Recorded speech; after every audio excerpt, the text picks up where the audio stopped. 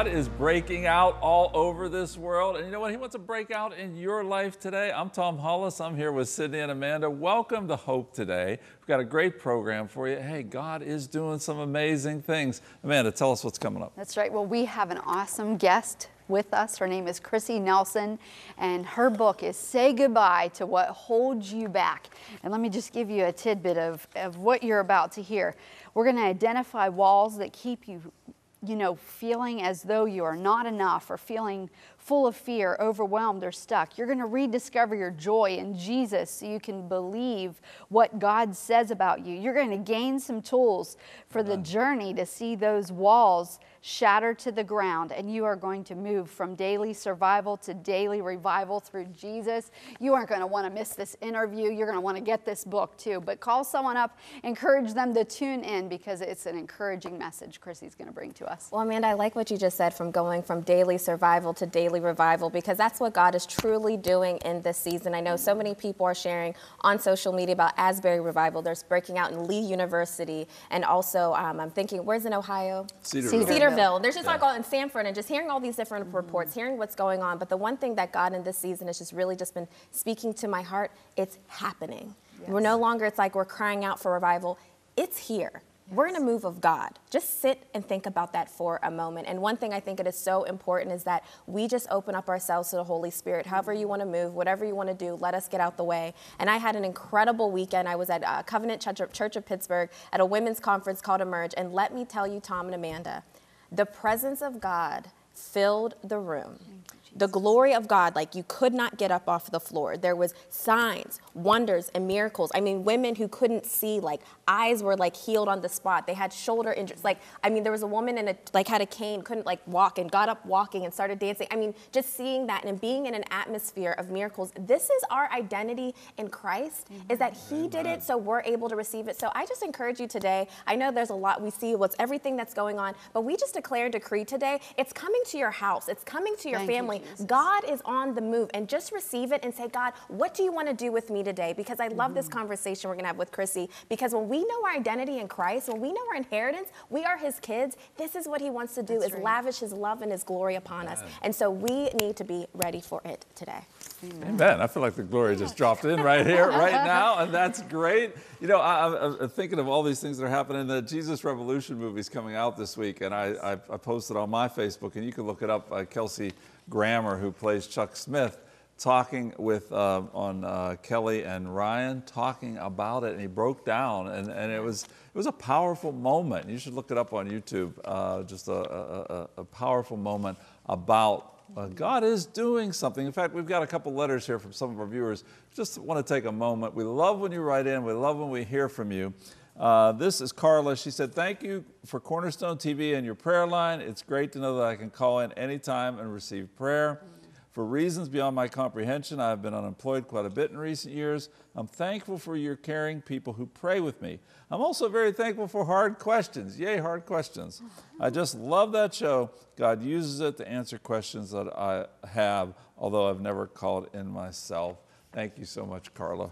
And then we also have Patricia. She wrote into us and she said, Dear Cornerstone, thank you so much for all the literature that you send so quickly. I am so thankful for Dr. Jeffress's book. He is a the one of the programs I watch every morning. He is at the top of my list of preachers. I love watching them all. I'm very glad to be a partner, to know I'm helping to have the good news of Jesus. The Lord richly bless you and your ministry and make you continue until he returns. And so we just thank you all for, you know, I know sometimes when we're out and about, you guys come up to us and you say how much you appreciate Cornerstone, but we appreciate you. And if it wasn't for you and if it wasn't for your partnership and giving and supporting this ministry, we wouldn't be able to do what we do. So thank you for all of you who support, who pray pray for us. We love you. And if you haven't connected with us yet, please give us a call. We'd love to get our newsletter, our Hope Today newsletter in your hand. You can go to ctvn.org or, as I said, give us a call.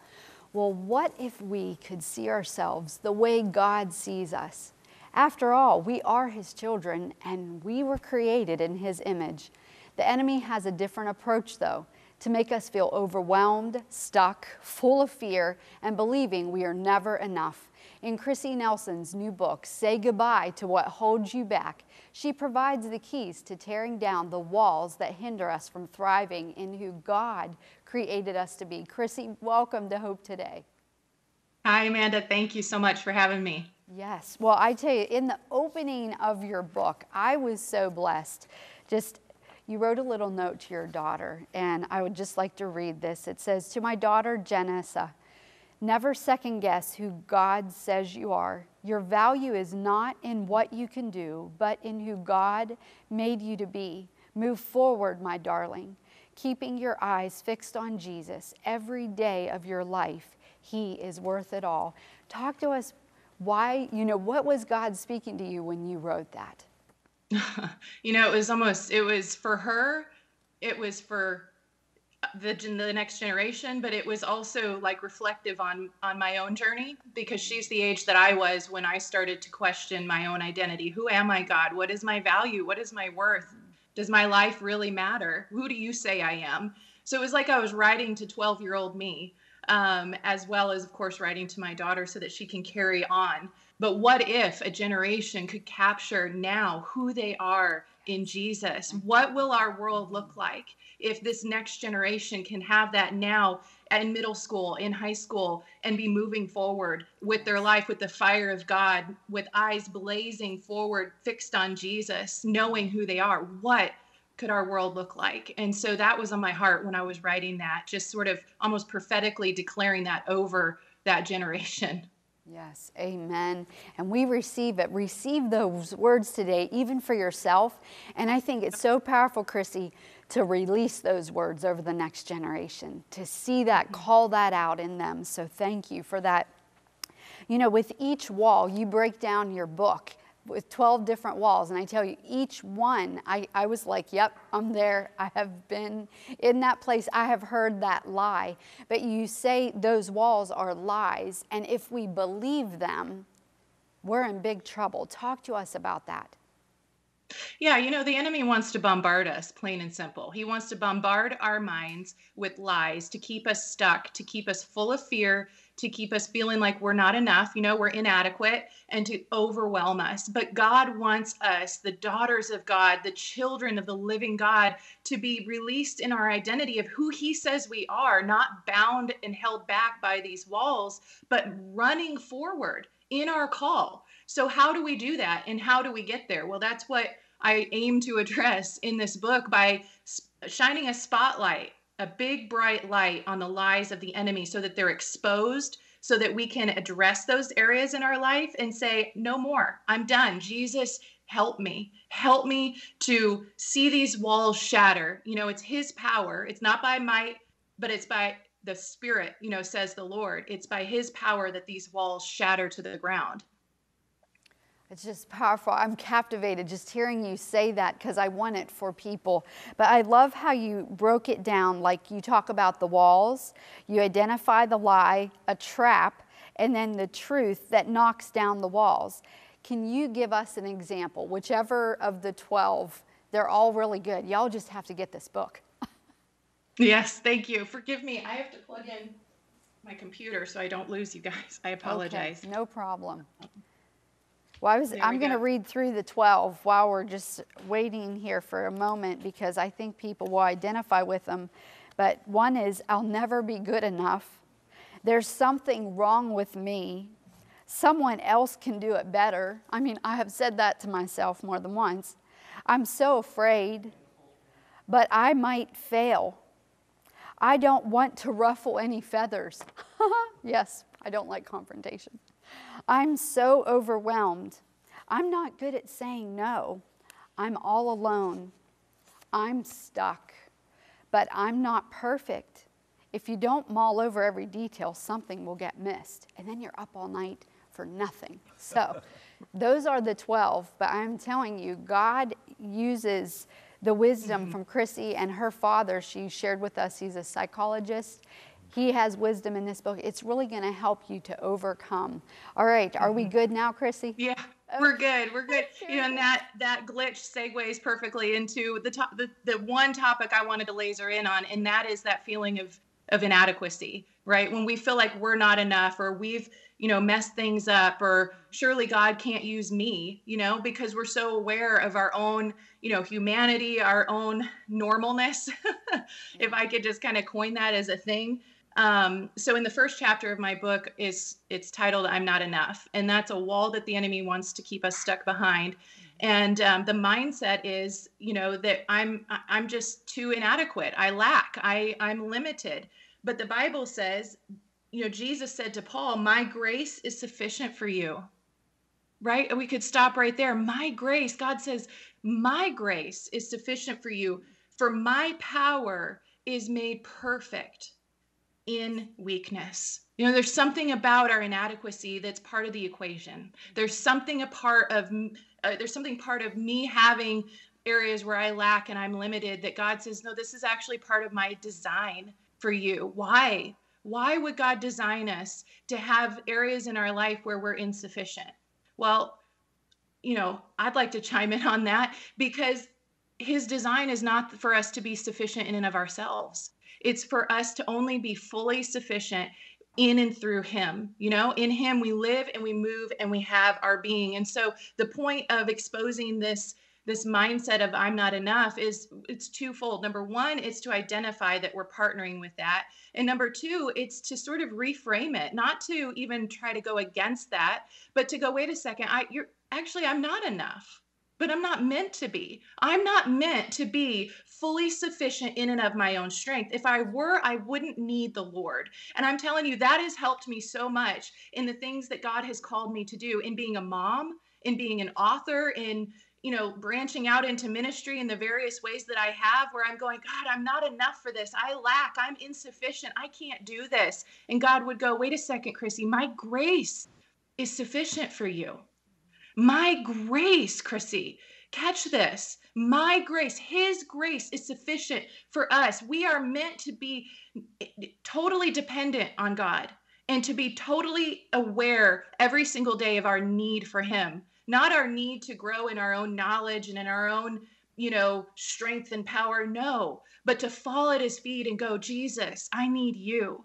Fill me up so that I can move forward not be stuck, not be overwhelmed, not be held back, right? Not not bowing to this this negative feeling of being not enough, but rather seeing that as a positive because that reminds me every day of my need for Jesus. And what a gift, right? Because when we partner with him, the Bible says that nothing is impossible. Paul said this, therefore I will boast. I'll boast all the more gladly in my weakness so that Christ's power may rest on me. We want to see revival in our in our cities, in our schools, in our workplaces. Partner with this verse. Stop uh, agreeing with the lie that makes you feel inadequate to where you're going to hide behind the wall, but rather embrace that and go, that's right. I'm not enough in and of my own strength. And praise the Lord for that because now Christ's power can rest on me and move and operate through me. And that's part, that's a convergence of my own story and also hopefully an encouraging word to others that are listening that you can sort of turn that from being a negative and see it as the positive that that little milestone beacon along the way that causes you to lean on Jesus in all that you do. Krissy, that is so good and so freeing and, and, and so life changing when we uh, grasp that. And I recognize myself in everything that Amanda read, all 12 of those at times. One thing that you mentioned, and I know that I've struggled with this whole idea, you don't say the word perfectionism, but it's kind of like I've got to look at every detail, I've got to have every all my ducks in a row, or I can't move forward. And we're paralyzed by that. Could you just speak to that, that wall? Absolutely. You know, we think we need to have it all polished up before we can move forward, right? I mean, if we're honest with ourselves, I always do this because I'm the first one to raise my hand. If we're honest with ourselves, so often we are paralyzed before we take a step because we think we need to have it all together. But God says, no. He says, you don't need to have anything together aside from your yes, your simple obedient, your, your heart just bowed before me, going, I will move when you tell me to move, God. And and and we're because we're human, we're never going to have it all together. We're never going to have things perfected. He's the perfect one. we're the imperfect ones and the but the the beautiful thing is when we partner with him we see that that perfect you know power of god going out from our lives and it shines the spotlight on him right because i'm imperfect but yet i'm doing the impossible whatever the impossible is in your life you know insert that because of that god is given glory through our lives you know people pay attention and they go you're so normal. How are you doing a b c or d? You know you're just like me. How is this happening in your life? And and we say because i stopped trying to figure it out before i'd take a step. And decided just to take the step even in my own imperfections right Chris, I love we're talking about these invisible walls that we don't even know at times that paralyze us from walking into the full manifestation of who we are called to be in Christ. And I just want to ask you, what are some practical steps? Somebody's listening right now, they're like, I'm identifying with all of this. It's perfectionism or not feeling good enough or just really struggling with certain things. What can they do today to take that first step to start seeing those walls come falling down? Mm-hmm. Yeah, I say get in the Word of God. You know, the Word of God is both divine and practical. It's our guidebook through life. We see Jesus modeling perfectly the practical application of the instruction of God. And so when we get into the Word of God and we you know digest it and we and we have it in our hearts the bible says that it's alive and active it's sharper than a double-edged sword and that word in our lives begins to cut through the noise and the chaos. And so the practical aspect of that is that you begin to repeat what you're reading.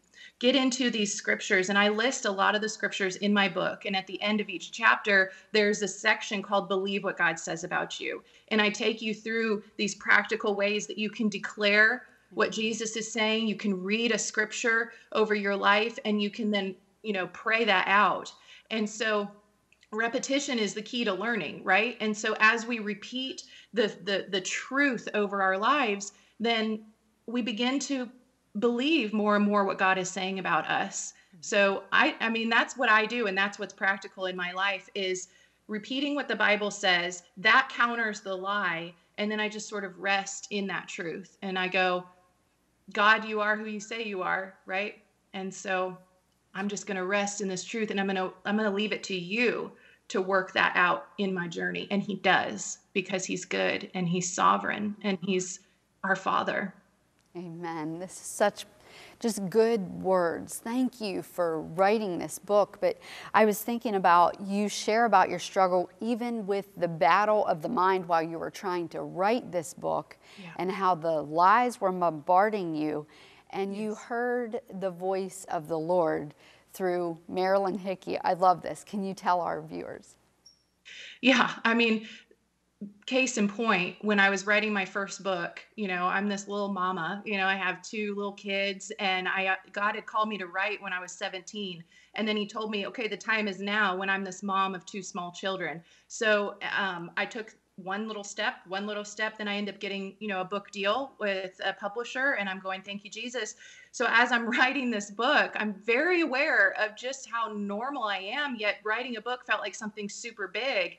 Um, and so I would cry out to God, you know, why God? Why me? Why not somebody with, you know, way more influence? And how am I going to do this, God? And one morning as I was up really early to write. I had my coffee in hand and I'm walking to my couch, and suddenly I heard the Holy Spirit speak to me. And he reminded me of something that I had heard Marilyn Hickey share in a, in a conference one time. I sat there and she spoke these words, and it was as though the spotlight was on me and my heart, and they were just for me. And the Holy Spirit spoke them into my ear again and reminded me. And he said, Krissy, God thinks you can do anything.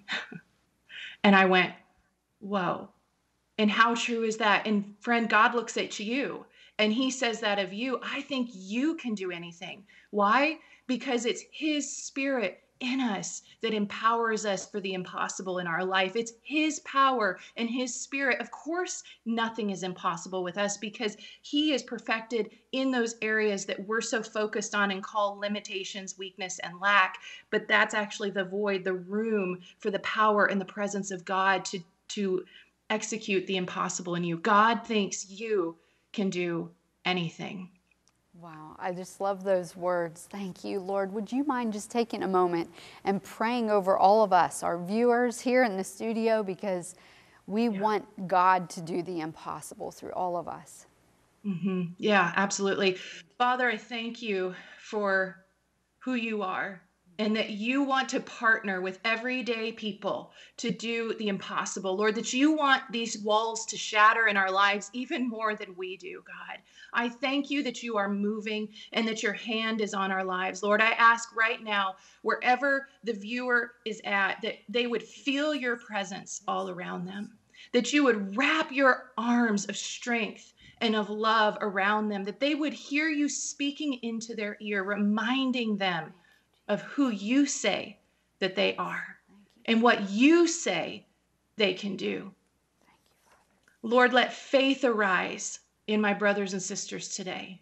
Let hope arise. Let dead dreams come back to life today. Those dreams that you have spoken into them in years past, we call those to awake in Jesus' name. Lord, I thank you in Jesus' mighty name, amen. Amen. Well, thank you, Krissy, so much for being with us here on Hope today. Absolutely. Thank you for having me. It's a joy. Awesome. Well, make sure you get your copy of Krissy's book. It is a great read and it's impactful for your life. When we come back, we're going to unpack that powerful scripture that Krissy talked about, and it ties in perfectly with today's discussion, and share how you can apply it to your walk with the Lord. We'll be right back.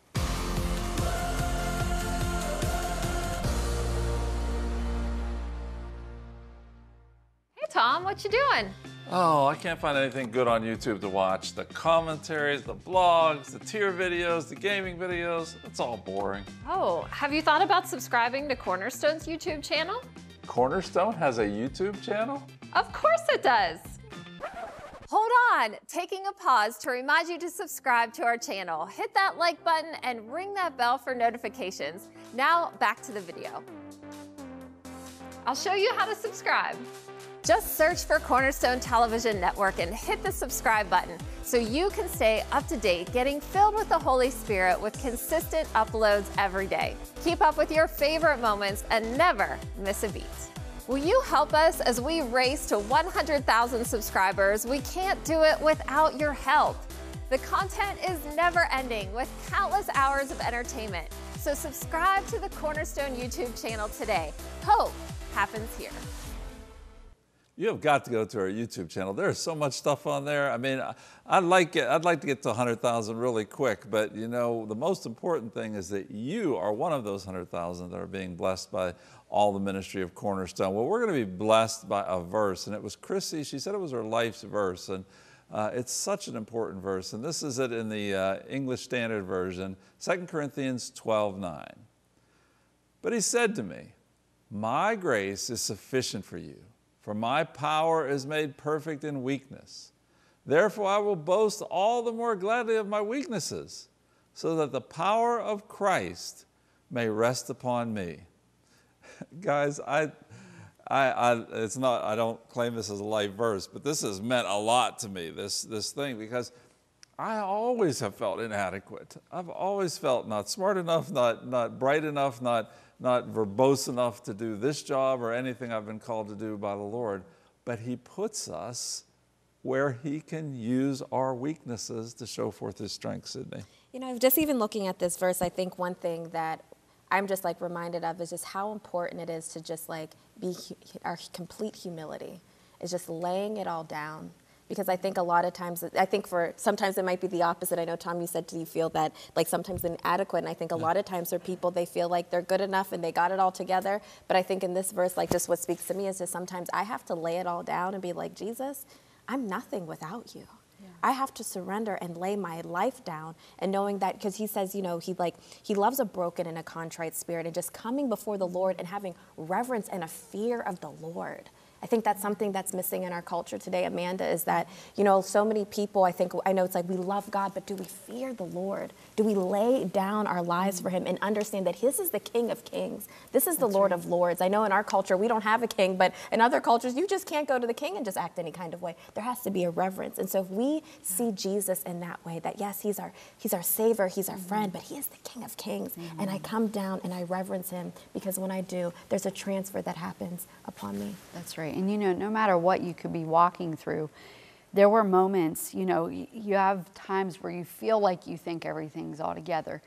We need Jesus just as much in those moments as you do, but really when, you know, our family, we just, things were falling apart.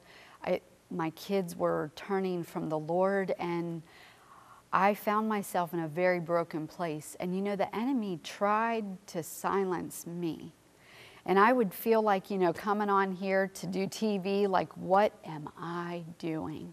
I don't deserve to sit in that seat because of what was happening. It was like I was letting what's around me define me instead of my Heavenly Father, and how quickly that can happen. And maybe that's you today, that you've allowed the circumstances that have happened to you or choices that you made and that's what's defining you. I can tell you right now do what Krissy did and sit with the Lord, get in His Word, because He's going to tell you about who you are.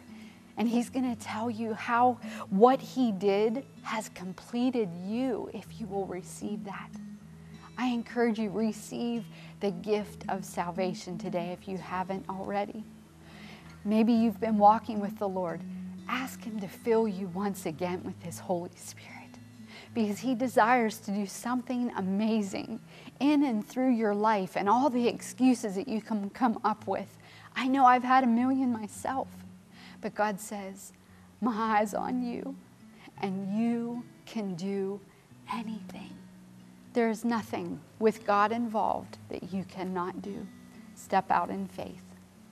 That is such a good word, Amanda. And you know what? Don't have, uh, I like what Sydney said, because don't have the pride of the worm either. Like, I can't do this. Like, don't have the pride that says, I can do this and I don't need God, or you wouldn't probably say that, but you might function that way.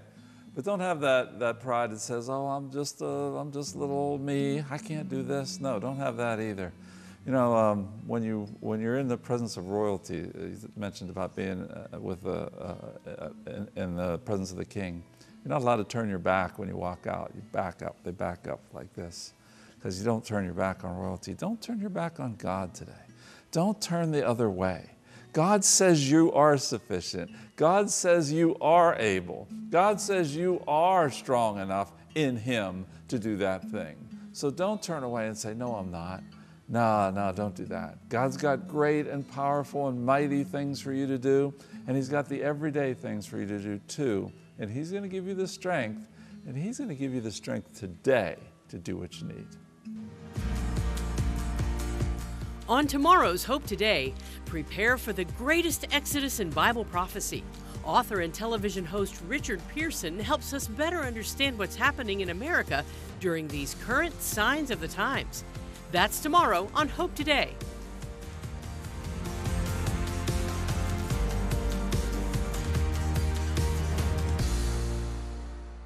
Cornerstone Television wishes to thank all our faithful viewers whose consistent prayers and financial support have made this program possible.